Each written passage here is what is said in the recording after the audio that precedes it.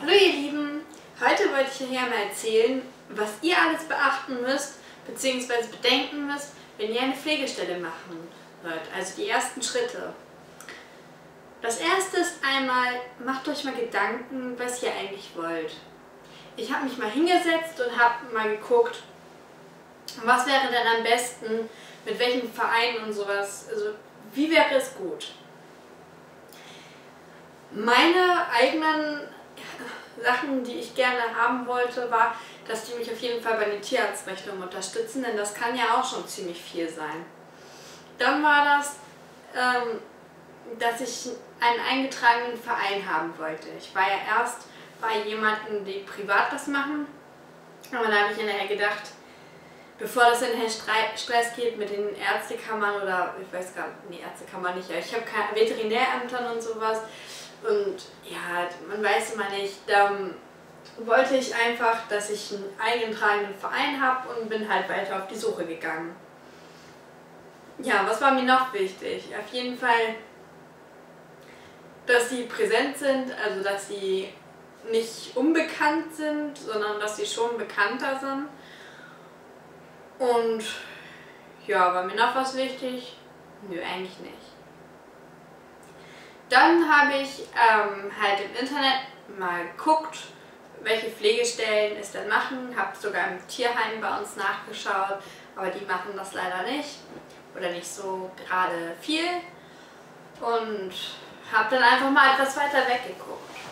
Und in Berlin bin ich dann auf, also ich war jetzt nicht in Berlin, aber ähm, halt auf einer Seite, wo ich dachte, hm, die machen das bestimmt nicht, bin ich einfach mal raufgegangen und dann habe ich die Pflegestelle, also äh, Pflegestellenvergabe in Berlin gefunden.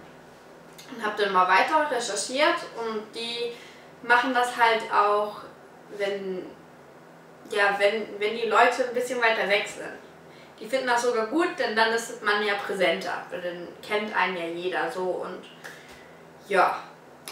Ähm, da habe ich da halt hingeschrieben, und die haben mir ganz lieb geantwortet, dass ich es natürlich gerne machen könnte, dass wenn ich Fragen habe, ich gerne anwenden könnte und dass sie mir jetzt erstmal alles zuschicken wollen. Ja, und das hole ich jetzt mal eben.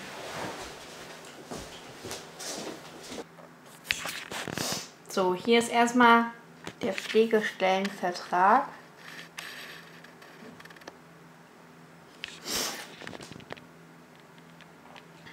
Vom Meerschweinchen, notmeerschweinchen.de.ev und stehen da halt die Namen, zwischen wem das ist und ja, so noch ein paar Anmerkungen. Und halt, da muss man halt die Unterschrift draufsetzen.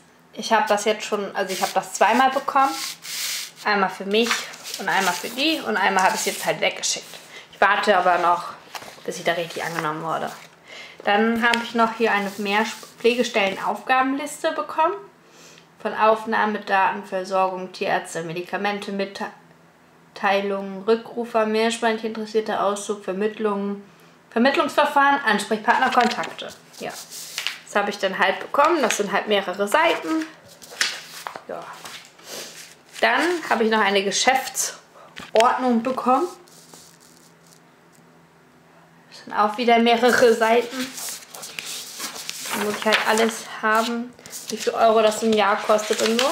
Theoretisch kostet das bei denen 36 Euro pro Länderjahr.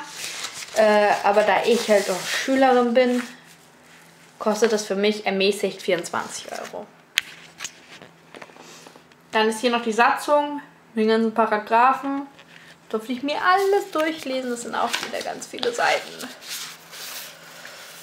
Ja.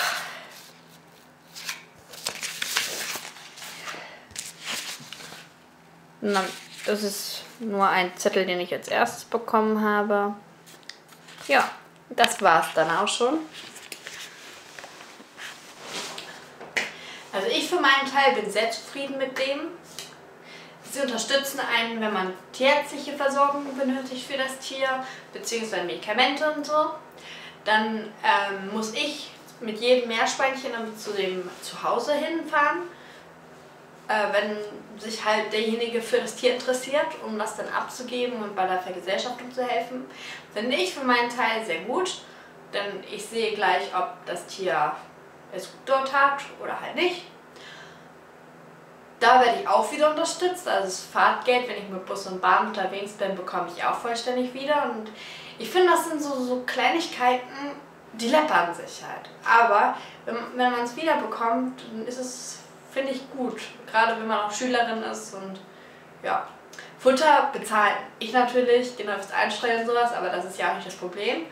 Aber halt Tierärzte und so, alles kann sich halt alles, auch um Kleinigkeiten, kann sich wirklich läppern. Und gerade wenn man so eine Kastration hat, kostet das rund 50 Euro mal eben und ja, das läppert sich halt wirklich alles. Und ich finde diesen Verein wirklich sehr gut, weil es einen unterstützt. Ähm ja. Also ich kann diesen Verein notmeerschweinchen.de.ev sehr gut weiterempfehlen. Und wenn ihr eins haben wollt, dann guckt doch mal auf deren Internetseite notmeerschweinchen.de Ja, und ansonsten ja, was die haben mir natürlich auch Anforderungen gestellt, natürlich, dass mir das die Tiere artgerecht halten. Das ist für mich aber selbstverständlich und ja. Dann müssen, mussten wir noch ein Quarantänegehege bauen. Ich wollte eigentlich eins, ein normales kaufen, aber wir haben kein gutes in der Nähe gefunden und wir wollten jetzt auch nicht an die 100 Euro für ein Quarantänegehege ausgeben was wir vielleicht nach zwei Wochen wieder wegschmeißen können, weil es vielleicht doch irgendwie was doof ist, weil eine Krankheit da ist, die nicht mehr weggeht. So haben wir uns dafür entschlossen, uns selber ein Quarantänegehege zu bauen. Und das seht ihr im nächsten Video, also nächstes Wochenende. Ähm ja, ansonsten haben die mir eigentlich keine Anforderungen gestellt. Und ich hoffe einfach, dass wenigstens nächste Woche der Brief kommt, dass ich endlich dabei bin und endlich mehr Meerschweinchen als Pflegetiere holen kann. Und der Stall ist so leer. Und ansonsten wünsche ich euch noch einen schönen Wochenanfang, beziehungsweise ein restliches schönes Wochenende und bis dann. Ciao.